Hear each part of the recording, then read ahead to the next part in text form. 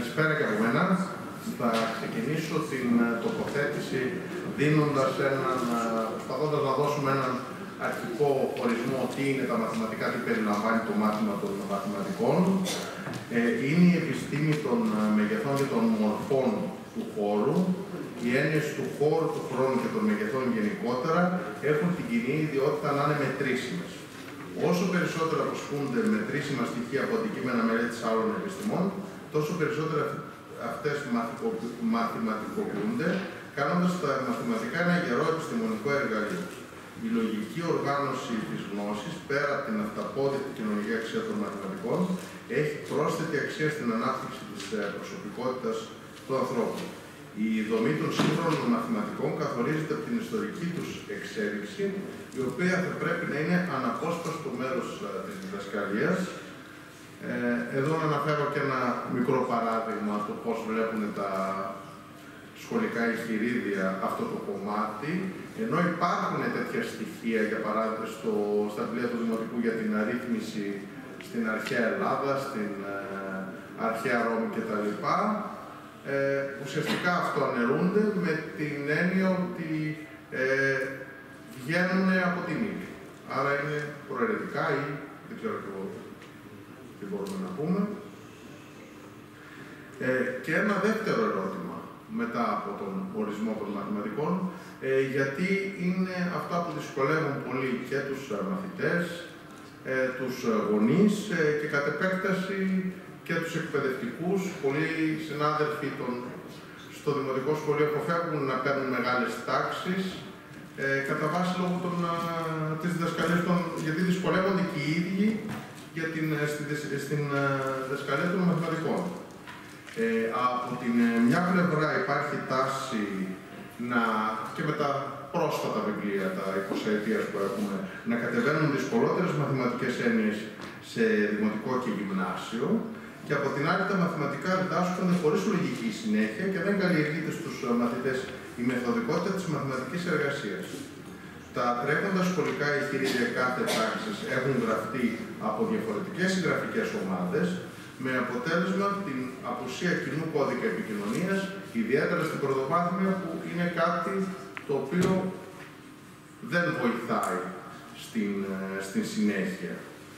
Επιπλέον, τα τελευταία χρόνια η διδακτική ύλη διευρύνεται, ενώ ταυτόχρονα μειώνεται ο διαθέσιμος χρόνος για τη διδασκαλία της.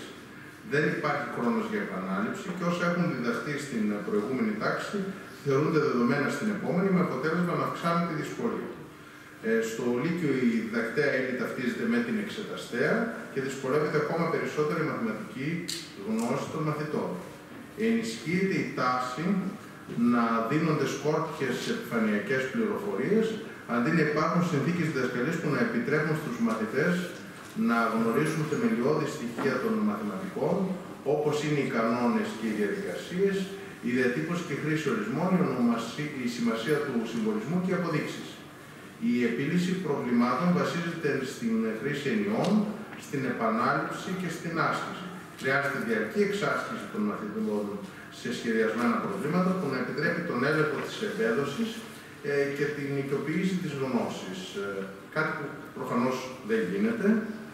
Ε, εδώ να πούμε ότι ε, ολόκληρα, ολόκληρα κεφάλαια στη γεωμετρία, για παράδειγμα, στα βιβλία του Δημοτικού, παρουσιάζονται σε ένα και μόνο μάθημα. Ε, επίσης, ε, στα προβλήματα τα οποία υποτίθεται ότι ε, πατάνε στην ε, καθημερινότητα των ε, μαθητών, γενικότερα στην καθημερινότητα, βλέπουμε ήδη στα πρώην 20 εγχειρίδια να εμφανίζονται, που περνάνε προφανώς και αξίες, να εμφανίζονται ε, στοιχεία όπως για παράδειγμα που σχετίζονται με την εργασία, όπως για παράδειγμα ε, η ορομιστία και διάφορες άλλες τέτοιες ε, αντιλήψεις και έχει σημασία ότι αυτά είναι, έχουν γραφτεί τουλάχιστον 20 χρόνια πριν. Ε, τα παραπάνω στοιχεία των αναλυτικών ε, προγραμμάτων έχουν επιπτώσεις και στη μέθοδο διδασκαλίας που εντείνει την αποξένωση των μαθητών. Στην πρωτοβάθμια εκπαίδευση έχουμε μία ε, αντίθετη, θα λέγαμε, τάση, πρωτοβάθμια με δευτεροβάθμια. Στην πρωτοβάθμια φαίνεται να κυριαρχεί σύγχρονη τάση εντός εισαγωγικών της παιδαγωγικής, σύμφωνα με την οποία αμφισβητείται ότι η εκπαίδευση έχει ως στόχο την ε, αφομοίωση επιστημονικών αληθιών. Ο μαθητής παράγει υποκειμενικά ένα νόημα για μια μαθηματική έννοια, σαν να είναι θέμα άποψης, ε, αυτό αναπτύσσεται μόνο, ε, και αναπτύσσεται μόνο του αποκομμένο από την πραγματική δραστηριότητα που το γέννησε. Στη δευτεροβάθμια, αντίθετα, γίνεται κανόνα στο παραδοσιακό μοντέλο μια επαναλαμβανόμενη διαδικασία απομνημόνευσης από ένα πυκνό τυπολόγιο και λίστες ιστορημάτων και ορισμών.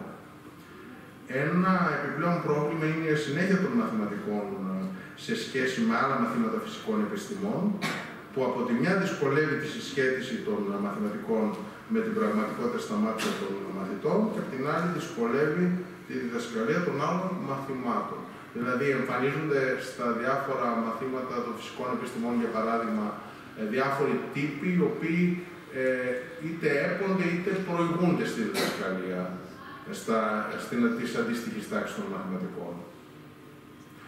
Ε, γιατί να ασχοληθεί τώρα κάποιος με τα μαθηματικά; Ε, Συνήθως δεν τίθεται αμφιβολία για τη χρηστική αξία των μαθηματικών ως εργαλείο, πόσο μάλλον στην εποχή της πληροφορίας και της ψηφιοποίησης. Ακόμα και ο ΩΣΑ ιεραρχεί ψηλά δεξιότητες σχετικά με τα μαθηματικά, όπως η ταξινόμηση, η διαχείριση της μεταβολής, η χρήση συμβόλων, η μεταφορά στρατηγικών στην επίλυση προβλημάτων και άλλα. Η αφαίρεση επιτρέπει τη συγκρότηση μιας οικουμενικής γλώσσας για την περιγραφή φαινομένων σε διαφορετικά επίπεδα. Στη διαδικασία της γνώσης, η ικανότητα αφαίρεσης ήρθε ως μια ανώτερη ψυχική λειτουργία κατά την εξέλιξη του ανθρώπου. Από την εμφάνιση του στη γη, ο άνθρωπος προσπαθούσε να αναπτύξει συμπεριφορά και γνώση ώστε να επιβιώσει, να βρει τρόπους να παρέμβει στο περιβάλλον του, να χρησιμοποιήσει τη φωτιά και το νερό. Προσπαθούσε να επικοινωνήσει στο πλαίσιο της συλλογικής γνώσης και να φτιάξει εργαλεία. Στην πορεία της εξέλιξης συνειδητοποίησε τον χρόνο, το παρελθόν, το παρόν και το μέλλον. Έκτοτε προσπαθεί να βρει συνδέσεις, εξηγήσεις, περιγραφές και προβλέψεις φαινομένων που συνέβαιναν γύρω του και στη φαντασία του μέσω της ατομικής ή της συλλογικής μνήμης. Έτσι προέκυψε και ανάγκη για την οργάνωση των τεχνών, των τεχνικών και αναπαραστάσεων. Αναπτύχθηκαν οι επιστήμες ως προσπάθεια για τη λογική οργάνωση της γνώσης και σε αυτή την πορεία της εξέλιξης της αφαιρετικής ικανότητας του ανθρώπου, τα μαθηματικά είναι η κορονίδα. Το να μην θέλει επομένως κάποιος να εξασκήσει τη μαθηματική του ικανότητα σε οποιοδήποτε βαθμό φυσικά ο καθένας, είναι σαν να πηγαίνει κόντρα στην εξέλιξη της ίδιας της ανθρώπινης νόηση. Η μαθηματική σκέψη αφορά στην κατανόηση όλων των νόμων που τις διέπουν, νόμοι που και αυτοί είναι αυθαίρετα διατυπωμένοι και που ταυτόχρονα αντανακλούν τι πτυχές της πραγματικότητας. Το πιο απαιτητικό λοιπόν στη μαθηματική σκέψη είναι η δυνατότητα συλλογισμού σε αφηρημένο επίπεδο και όχι η αφαίρεση αυτή καθεαυτή. Ο αφηρημένος συλλογισμός έχει ιδιαίτερο ρόλο στην ανάπτυξη της φαντασίας και της διέστησης του κάθε ατόμου. Η ικανότητα όμως αυτή δεν έρχεται στον καθένα μας με φυσικό τρόπο. Απαιτεί καλλιέργεια στις κατακτημένες πρακτικές της ανθρωπότητας και τις επιστήμες από μικρή ηλικία.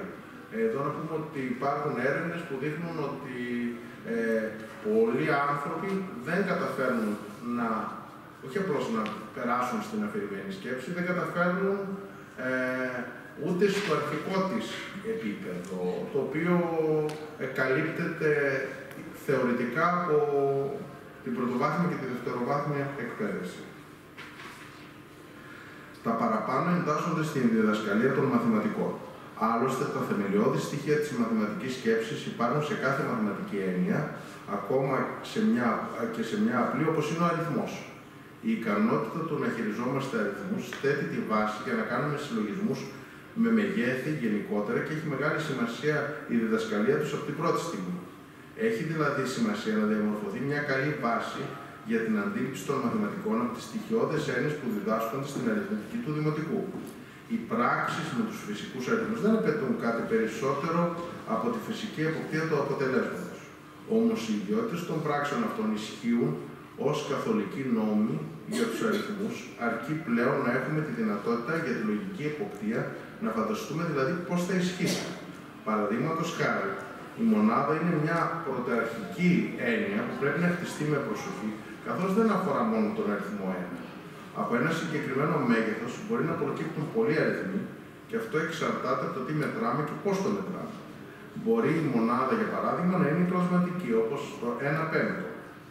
Για τα προβλήματα των πράξεων και τη σύγκριση κλασμάτων πρέπει να κατανοήσουμε πως το κάνουμε ομώνυμα στην πραγματικότητα σημαίνει αλλαγή στη μονάδα μέτρησης, άρα στη συνέχεια είναι σαν να κάνουμε πράξεις ή σύγκριση με φυσικούς αριθμούς.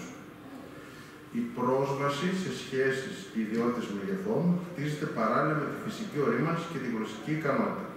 Παραδείγματος χάρη στο δημοτικό, διδάσκεται το δεκαδικό ανάπτυγμα ακεραίων, όπου ξεχωρίζουν οι διαφορετικές μονάδες, όπως παραδείγματος χάρη οι δεκάδες, οι εκατοντάδες κτλ. Ξεχωρίζει πάλι η καθοριστική σχέση που έχουν τα όμοια στην πρόσταση.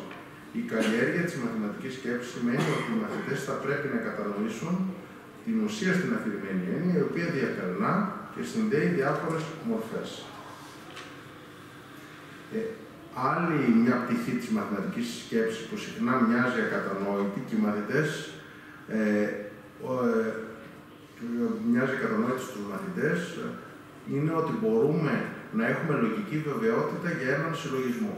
Επειδή δεν έχουν εξασκηθεί στη λογική χρήση των ενιών μέσα από ασκήσεις και κυρίως μέσα από αποδείξεις, ούτε έχουν διδαχθεί τα στοιχειώδη της τυπικής λογικής. Υπάρχουν διδακτικές ε, πρακτικές που δυσκολεύουν την κατανόηση μαθηματικών εννοιών. Παραδείγματος χάρη στα ζευγάρια που προστίθενται για να έχουν το άθροισμα 10 από την πρώτη δημοτικού ακόμα, ε, το 9 συν 1 για παράδειγμα αντιμετωπίζεται ως κάτι διαφορετικό, ως κάτι επιπλέον του 1 συν 9, με αποτέλεσμα αργότερα αυτό να δυσκολεύει την αναγνώριση της αντιμεταθετικής ιδιότητας της πρόσθεσης αφού στην πραγματικότητα την έχουν δει να καταστρατηγείται ήδη από το ξεκίνημα του Δημοτικού Σχολείου. Αντίστοιχα προβλήματα συναντάμε και στην γεωμετρία. Το πιο, το πιο κλασικό παράδειγμα είναι η θέση που έχει ένα τετράγωνο. Αν το πλαγιάσουμε, αμέσως ονομάζεται ρόμπος. Γενικότερα φαίνεται να απουσιάζουν από την δασκαλία των μαθηματικών τα εξής ότι το αντικείμενο των μαθηματικών είναι κάθε μετρήσιμη έννοια. Τα μαθηματικά συστήματα, οι έννοιες, οι ορισμοί, τα θεωρήματα διαμορφώνονται ιστορικά και είναι το αποτέλεσμα συλλογισμών και της εμπειρίας που έχεις συσσωρευτεί. Η μαθηματική εξέλιξη απαιτεί συνεχώς ένα αυξανόμενο επίπεδο αφαίρεσης και αυτή η αφαίρεση είναι που επιτρέπει τη λογική οργάνωση της γνώσης. Είναι προς κατάκτηση για εμάς τους μαθηματικούς και γενικότερα τους εκπαιδευτικού που διδάσκουν μαθηματικά, να αντιληφθούμε το ρόλο μας στη μετάδοση της γνώση, θα πρέπει να είμαστε σε θέση να εξηγήσουμε την ιστορική αναγκαιότητα που οδήγησε στην ανάπτυξη μιας δοσμένης μαθηματικής έννοιας. Έτσι να φωτίσουμε τη σημασία της στη σύγχρονη επιστήμη. Ευχαριστώ.